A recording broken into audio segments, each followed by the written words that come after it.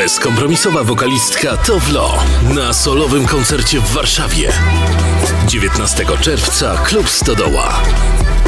Autorka takich hitów jak Habit czy Cool Girl. Towlo.